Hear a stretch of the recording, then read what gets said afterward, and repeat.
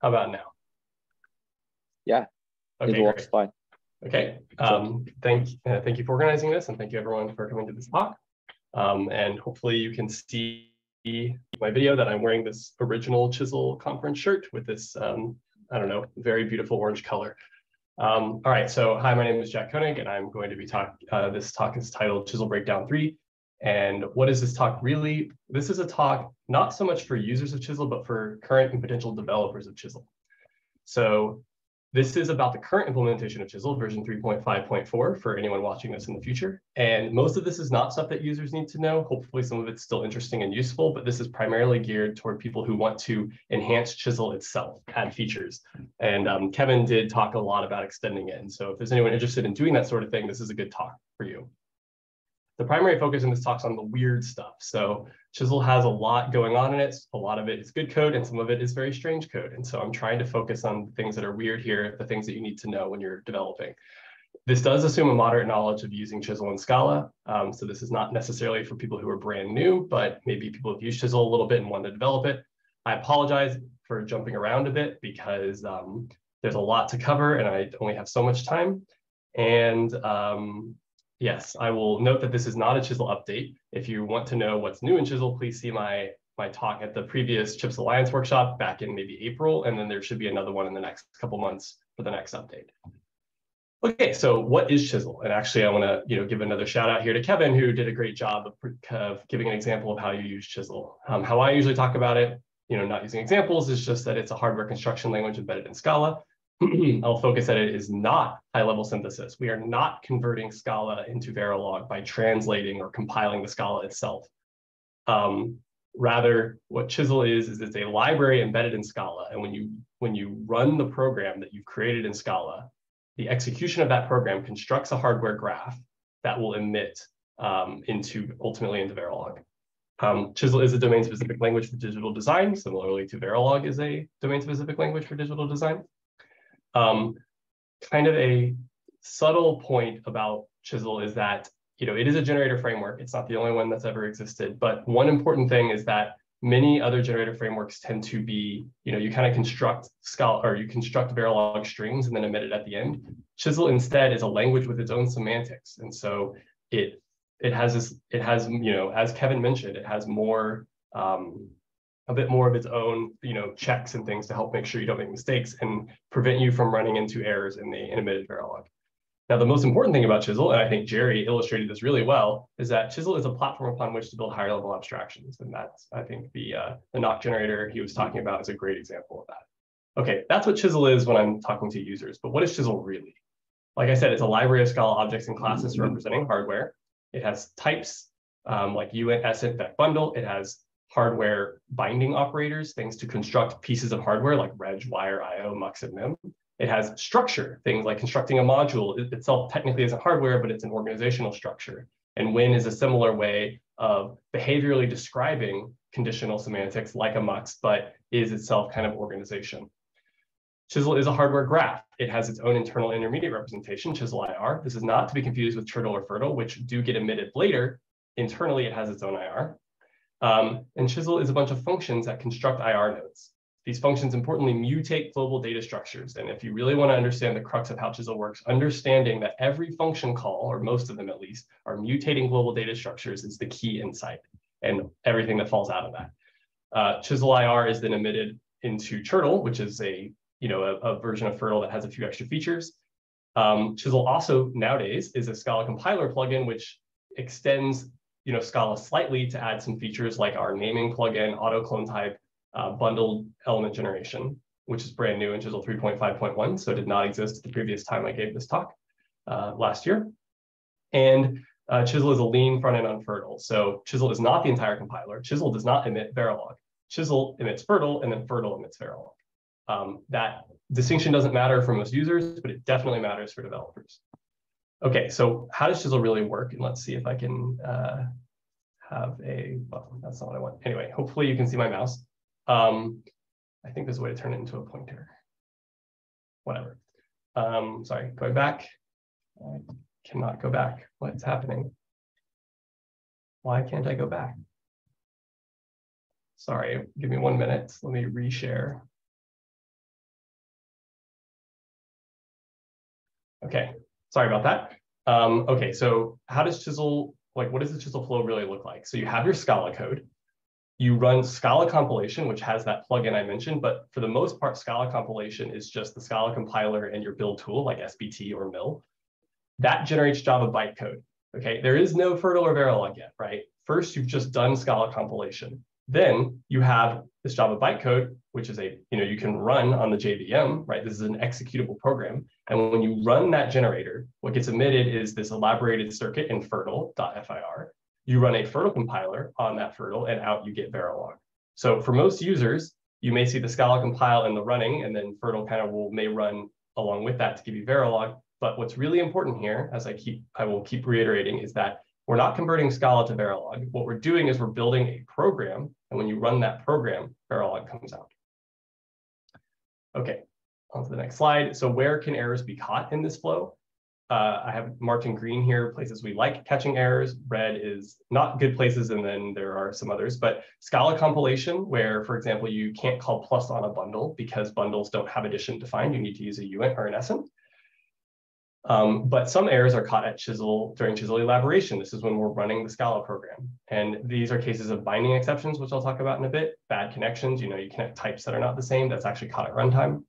Then comes FIRRTL compilation. Some errors we can't check in Chisel and they're caught in FIRRTL, like initialization, which means you didn't connect something under all circumstances, combinational loop detection.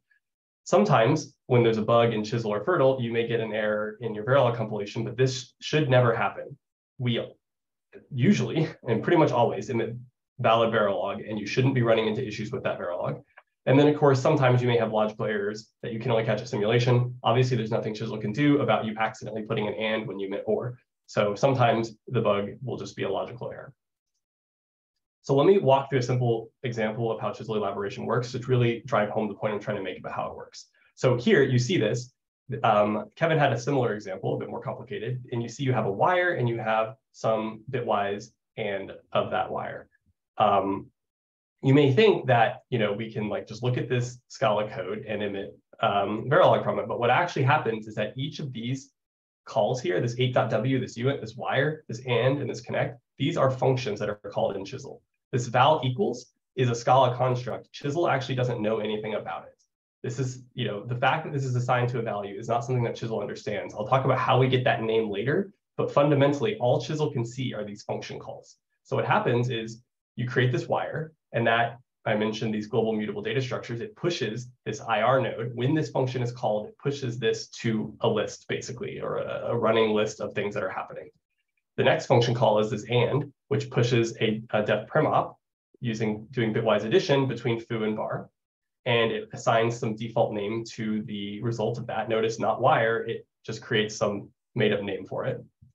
And then finally, we have this connection call, which is, a again, another function call, which creates this connection operator, which then also gets pushed to that global data structure. And so these three different things in Chisel IR are called commands. Those are kind of like statements in Chisel IR, and they're stored inside the containing module, which is called a component in Chisel IR.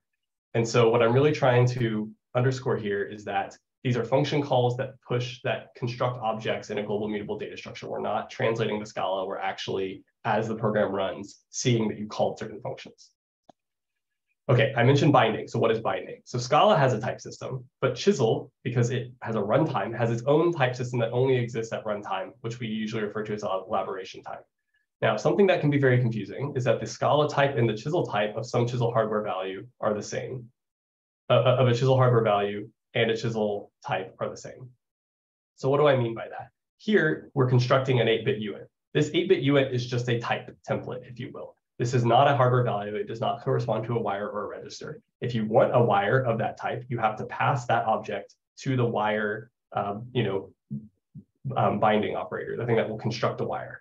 Now, from Scala's perspective, these both have the same type. But from Chisel's perspective, at elaboration time, they do not. And so if you were to ask Scala what is the class of these two things, you'll see that that's equal. But if you were to try to do a chisel, uh, a chisel connection, or uh, sorry, a chisel equality, right? This is constructing a hardware uh, equals check. You would get a binding error. And I accidentally clicked, and so we're on to the next slide. Sorry for jumping ahead because um, I cannot go. Oh, I can go backwards now. Okay, so you can see that this attempting to do a triple equals like you would pass to a when, you'll get a binding exception because it's going to say this template is not hardware. It's just a type. Only this wire is a hardware value. So you can't connect, you can't compare this non-hardware value to a hardware value. Okay, on to call by name, because this is a sometimes confusing aspect of Chisel that's really important. An error that people will often see is you forgot to wrap your module in module, right? You tried to construct a module object and then pass it as an argument to module, but this doesn't work. And how is it that Chisel can tell the difference between you constructing it versus you know constructing it and then passing it versus just constructing it? Because I just told you a minute ago that Chisel can't tell that these are vals, right? It cannot, it does not know that you're assigning the result of this to a val, but somehow we're able to tell when you do it correctly. How does it do it? there's a feature of Scala called call by name. So, you know, this module is an object with an apply method, and that's what this, this function is calling the apply method. And the argument, instead of just being of type T, you know, subtype of base module, we have this arrow here. And what does this arrow mean? This arrow means that we are delaying the execution of the thing you're passing until we refer to this argument. So this new my module, this is constructing an object, it actually doesn't occur yet this code does not run until here. And so this gives us the ability to do some setup before the object's constructed and some teardown after the object's constructed. And that's really important for how Chisel works, because as I've mentioned, there's this global mutable data structure, and Chisel needs to know what the current module is. And so what it has to do is ask to save the, the previous module, um, you know, and then construct the new module and then pop back to the previous module so that when you call chisel functions, it knows what module your hardware is associated with. And that's how that works. It's using this um, call by name feature of Scala. All right, so now I'm gonna um, pop over to a slightly different topic, talking about Chisel's project structure, which I'll use to then lead into some of the other things I'm gonna talk about. So Chisel has several directories with things. There's the plugin, which I've alluded to a bit, that runs as part of the Scala compiler. There are macros that we use. There's the core, the bulk of Chisel implementation. So if you are looking to develop Chisel, core is where most of the code you should look at is. There's the Chisel 3 or source main Scala directory. So it's really source. And this is the Chisel 3 project. This is where kind of the main function and some utilities are defined. This is more like user-facing code than what's in core. We have our tests and source test Scala. We have docs. and docs, we have the new standard library and integration tests. So Kevin mentioned the standard library a bit, and integration tests are where, you know, Chisel test is depends on Chisel. So we can't use Chisel test to test Chisel itself, but we have this project of integration tests where we can use Chisel test to do some higher level tests of the internal features of Chisel. Now, why is this three different projects? One important one is that, well, the plugin is part of the, of the plugin or part of the, the Scala compiler, so it has to be a separate project.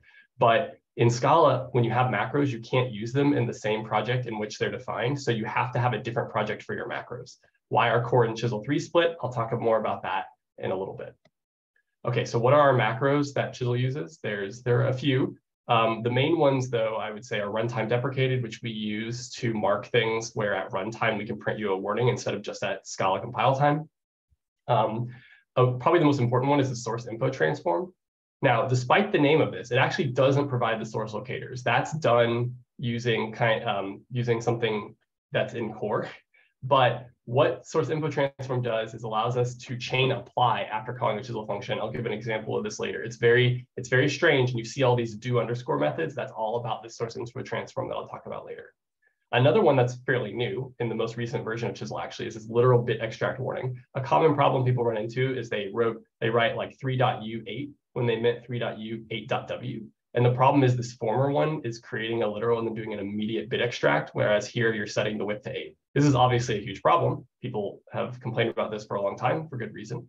And so now there's a macro that can inspect and see that you accidentally did this and it will print a warning. And um, I think we'll soon make this an error, probably in 3.6 or 3.7. But um, you know, now we can actually detect it because of a macro can inspect that you wrote the wrong thing. And the macro is needed to distinguish between this and this. Because again, from Chisel's perspective, all you're doing is calling functions. So how can it know that you called this on a, you know, on a literal accidentally versus um, intentionally? And the way it does it by is by inspecting what you wrote. There's also the range transform used by intervals. I'm gonna gloss over that. And then the chisel name transform, or sorry, macro, which we used to use to name things in Chisel, but now we have the compiler plugin. So this was actually removed in 3.6 and it's deprecated in 3.5. Okay, so what's in core? This is where most user-facing classes and objects are. So data, uint, when, wire, module, printf, all of these things are defined in core. It's also where the compile options, uh, macro and materializer are defined. Um, and it's where most of Chisel's internals are defined, including the builder, which I'll touch on in a minute, the internal IR representation, Chisel IR, and the source info, the actual thing that represents source locators, as opposed to source info transform, which I'll talk about in a minute. Source info is the thing that actually does source locators. So why are these two macros, the compile options and the source info macros inside of core? Because as I mentioned, you cannot use a macro in the same compilation unit in which you define it. And so what that means in Chisel that's very useful by having these defined in core is that we don't want to accidentally materialize compile options or source locators in core because we want those to be provided by the user, right? We only want to materialize these inside of user code in your source code. We don't want to give you a source locator pointing to Chisel's internals. That would not be very useful. And so by defining these macros in the core compilation unit, if we accidentally forget to thread the compile options or the source info through, we get a compile error in Chisel. So it's a way of Chisel checking itself and not accidentally you know, giving you bad source locators is kind of what it's trying to do. All right, on to the Chisel 3 build unit, which is source main Scala, Chisel 3. And here's where Chisel stage is, which is kind of the main way of invoking the Chisel compiler or invoking Chisel and building custom compiler flows. It's where compatibility.scala lives, which is if you've ever seen import capital C chisel, like in Rocket Rocketship, this is the compatibility mode for chisel two style semantics. It's all defined in there. Um, it's where we have utilities like decoupled Q arbiter, and there's the aspects oriented programming library, which I don't think I'll have time to cover today, but I've discussed in previous talks, and you can um, take a look at the code to see how, how that works. Okay, and then finally, you know, there's the plugin, as I mentioned, this is the scalac compiler plugin. It runs as part of Scala compilation. And it has two pieces, the chisel component. These components are the term used in the Scala compiler for um, basically compiler passes. So there's the chisel component, which is used to name signals, and the bundle component, which is used to generate clone type and elements for bundles to make it to where we don't have to rely on Java runtime reflection anymore for these two uh, features. Um, and then we have the docs directory. This is documentation that works. I, I think we're pretty proud of how this works because um, the docs has source and generated. And so it's actually uses this library called mdoc and you write markdown with some extra like little annotations where it takes that markdown that you wrote and it compiles the Scala examples and runs them to make sure that they work. And so this allows us to have our code examples actually always be up to date with Chisel because if Chisel changes, it's regenerated every time we publish a new version of Chisel. And so a good example of this is the, the bundle literals documentation. On the right here, I have what the, this is the markdown file. And you'll see here, it's, you know, uses Scala, but it mentions mdoc, which will tell the tool, mdoc tool to compile this code. And then down here, we have Scala m dot colon Verilog. And this is what this does is it actually runs the Scala code, gets Verilog, and then wraps it in, you know, Verilog so that on the left side, which is what's on the website, you can see the exact Scala source code, except it's been compiled to check that it works. And then the Verilog that's generated by it. And this is correct because it was generated from this exact code. Um, so this is pretty cool. And if, if you're interested in contributing to Chisel, or if you notice our documentation is not good, this is a great place to look because you can help improve it and make documentation that is always up to date, which is pretty exciting. Okay, so I mentioned Chisel stage a bit. This is the main user-facing API for invoking Chisel. It's how you run the generator. Um, you know, you have your module that you've defined, but you need to call Chisel stage to build it so that we can, you know, do all of our setup and stuff for the Chisel runtime. This is how what Chisel main.main calls uh, Chisel stage, the command line interface. This has lots of utilities for creating, you know, for generating various levels of compilation. You can generate CHIRRTL or FIRRTL. You can also generate Verilog, which means it will also run a, you know, run the Scala FIRRTL compiler to emit Verilog in the same JVM run, as opposed to serializing and then running it separately. Um, I'll note that there is a distinction between class chisel stage and object chisel stage that isn't super clear. Um, and so we're in the future, we're kind of improving this distinction, but this still does exist where the class version is used for writing files. So if you want to invoke chisel and you want it to write a .fir or a .v file, you use the class. The object does not write files. It's used for you know running chisel and just printing to the to the you know console, which is useful for examples and testing, but isn't if you're trying to you know build a Verilog artifact that you're going to put on an FPGA, for example. There is now a simplified API that does not directly use chisel stage, just chisel3.get Verilog string for getting a Verilog string and not emitting a file, and chisel3.emit Verilog, which will emit a file. So I think we're going to move toward the, these simplified APIs to make it more clear, but chisel stage is important for developers to know about. Okay, the builder, as I mentioned, is kind of Chisel's internal runtime. If you look in the internals of Chisel, you'll see builder dot whatever all over the place because that's kind of like how Chisel, uh, you know, records its own, like how it records information about what's happening. It is also the entry point into Chisel elaboration. So the builder, when you invoke Chisel via Chisel stage, it will call the builder, which then does all the setup needed for the Chisel runtime, which includes two things called the dynamic context and the Chisel context. Um, don't worry too much about the distinction between these two, but note that these are the objects that contain all the global mutable state that Chisel uses during elaboration. These are wrapped in Scala util dynamic variables. And what that does is it makes this global state thread local. So, you know, global mutable state is scary. Uh, it makes it really hard to, you know, invoke the same code twice. But what is useful about making this thread local is that you can invoke multiple single threaded invocations of chisel elaboration in the same JVM. It's just that within one elaboration, all the state is thread local, or all the, all the state is global to the thread of your elaboration. And as I mentioned, the builder is what all mutations to that global state go through. So anytime you create a module, it pushes, it sets the current module to point to your module. Anytime you do something that constructs hardware, it pushes an op. And then of course, if there are errors, these are how they were reported. Okay, I need to speed up a little bit.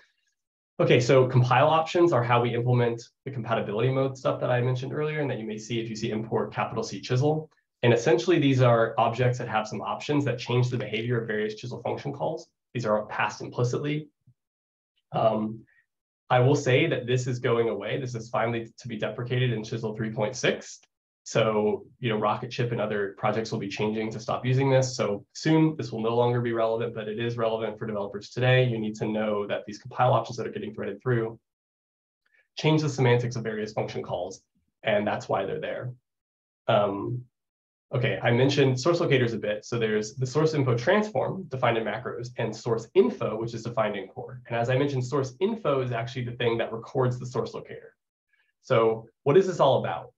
So basically, all the source info transform does is anytime you see something, you know, invoking, you know, that's implemented by using this macro call, what the macro does is anytime the user calls this function in their code, it replaces it with do underscore, do underscore the name of the function. So why do we do that? What is the purpose of that? The purpose is that the user wants to be able to call that function and then immediately do a bit extract. So here's a bitwise and. This one's Boolean and, but I'm actually calling a bitwise and on uints here. And then I want to extract bit number five, right? If we didn't do this macro and we only had the version that had the implicit arguments, Chisel or Scala wouldn't let you do this because it would see this five and think you're trying to pass an argument for the source info. And it would say you got the wrong type. So what the macro does is it lets you call it just on this version, and then it will go in and inject the do underscore and grab your source info and your compile options for you. And then your little five argument is still there afterward being called. And so literally all that the source info transform is for is allowing you to chain your bit extract after your operation. Yes, it is a lot of code and a lot of influence on the internals to make that happen, but you know, we're really focused on trying to make the user API as good as we can. And so that's what source input transform is all about and what all the do underscore stuff you see is about. Okay, the Chisel naming plugin is how we are able to provide good names. So I mentioned earlier that Chisel doesn't actually know about vals, right? Chisel is a runtime and you call functions, you call uint, input IO. It doesn't know that you're assigning it to a val. Um, so I said Chisel doesn't know about vals. That's only partially true because the Chisel plugin does know about vals. And what it does is it inserts extra function calls to give the Chisel runtime hints about what the names of your signals are. And so how does this work? Say we have this function, right? You know, we're adding A and B, we're subtracting three, we're bitwise anding it, and then we're ORing it and, you know, assigning that to a val and then connecting that to a result. And if you run Chisel today, you'll see you get result underscore X, result underscore Y for these two signals prefixed by this result because the function is called and returned to this value, we're able to prefix it such that if you were to call this function with a different value, you'd get a different prefix. So it allows kind of scoping of the names based on your call stack, which is pretty cool and makes the Verilog a bit more stable. Um, and so this is what you get with uh, the Scala Proto compiler today. But how does this actually work? What happens is the, the, the compiler plugin is injecting so your user source code is actually changed by the compiler plugin and it injects two function calls. For everything that you write that you assign that's of type data, it will inject autoname recursively with the name of this val and prefix with the name of the val. Could we combine these into one? Probably, but this is how it works today. And so what it's basically saying is prefix anything constructed in the scope with this, and then assign the final result this name, okay? And so that's what happens. And because you have the way the call stack works is you have this prefix result, you get here, it names X, but there's a prefix of results. So it gets named result underscore X. Same for Y. Um, and then this val gets named result. You didn't see it in the Verilog because it, it uh, result is immediately connected to out. And so the result signal got removed because it was just connected directly out.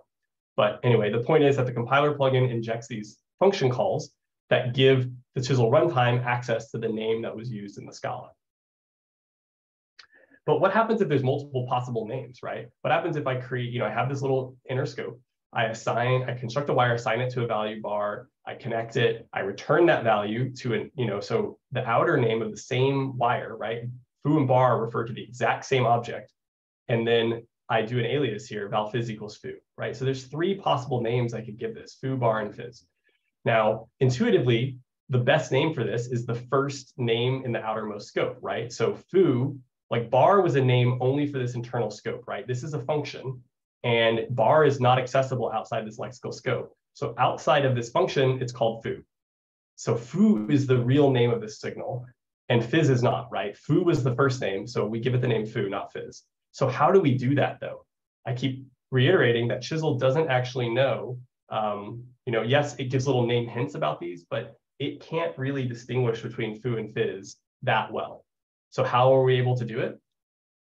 That nice little feature I mentioned earlier called by name parameters. So what happens in, in the Chisel runtime, every, every object that gets created has an ID. And this auto name recursively function that's getting injected by the compiler plugin is uh, called by name. So what that means is that when auto name recursively is injected here, this little um, function inside of here, where we're you know doing all this stuff in here, does not happen immediately. What happens is first we get the current ID from the builder, then we invoke this function that you the user wrote, and then with the object returned, we check is its ID greater than the current ID right? So if, if the ID of the object returned is greater than what the ID was before you call that function, that means the object was created in the scope of that function, which means we should name it. And so what that allows us to do is when you then pass foo to this auto name recursively, foo already exists. It already has an ID. Its name is, you know, the current ID. So when you then call this one and you check what is the current ID, uh, and then you you know invoke foo, you'll see that foo is not the, the the this return value is not greater than the current ID, and so we don't name it. And so that allows us to have you know we want foo to win over bar, so bar is the first name, and then that value gets returned again, and it's still the signal is new from the perspective of this outer scope, and so we name it. But then we pass it to here, and it's not new anymore, and so the name fizz does not apply. And so that's how naming works, which I think is pretty slick and allows us to give fairly intuitive names um, based on the structure of the, the user's code. Okay, so I also mentioned that the compiler plugin implements clone type. What is clone type? Because chisel types are immutable, are immutable objects, right? I can construct this type object and then pass it to an IO and a wire. And you know, therefore, this one object here, gen, I need to create fresh instances of the same type for IO and W right? So I need the ability to create clones of gen. And we need the ability, the, the ability to create clones of any data object. And so this is an important implementation detail for you, the developer watching this talk. Um, all the internal types in Chisel that are sealed, so therefore not user extensible like uint and vec, have their own implementation. But the problem is user-defined types like bundles and records need to have a clone type implemented to construct the right object. It's very formulaic code. In old Chisel, you will have seen stuff like this a lot, where you have some class bundle and then override def clone type, blah, blah, blah, construct this object with the same parameter. It's super formulaic. And so the compiler plugin is able to do this automatically. It replaces an older version that has, I have extra slides for, and you can see in past talks, but they're no longer relevant because as of Chisel 3.5, the, the plugin version of auto clone type is always turned on and there's no, you're not allowed to write clone type yourself anymore. So that's pretty nice for users. Um, and the code for this is in the compiler plugin, but how does it actually work? The compiler plugin, you know, doing all that auto name recursively injection is also injecting two functions for every bundle. It injects clone type impl, where it will inject the implementation of calling, you know, of, of constructing a new object of the same type with the same arguments. And it also marks that you're using the plugin. Now this is now required. So every bundle will have this overridden in it. And then in bundle itself, the abstract class, right? This is extending an abstract class. The implementation of clone type just calls this version that was generated by the plugin um, and then casts it. And so that's basically how clone type works. Um, the plugin is able to inspect the class that you have, uh, you know, generate a function calling the constructor with the right arguments. We're doing something similar now for elements. Um, so bundles have elements which are correspond to the public fields of the class. This is brand new in 3.5.1, and it will be just like clone type became mandatory, it will be mandatory in 3.6. But I urge users to enable it with the scalac plugin. We couldn't turn it on by default for, for binary compatibility reasons, but for most users, you should definitely enable it. It results in a 20 to 30% speed up. So this is a great addition. So if you're wondering why we did this, it's for the performance speed up instead of using runtime reflection.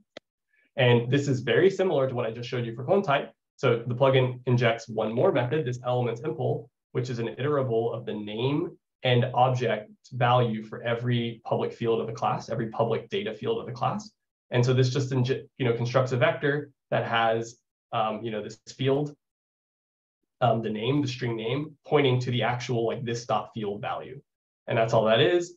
Um, the similarly to how for clone type, it calls the implementation and then does some stuff inside of uh, abstract class bundle. There's this object, this lazy val elements, which is calling that function and then iterating on all the elements to construct the internal representation. Because fundamentally, internally, all bundles are is a map of the names of the fields to the actual data values. Um, that's how they're implemented internally.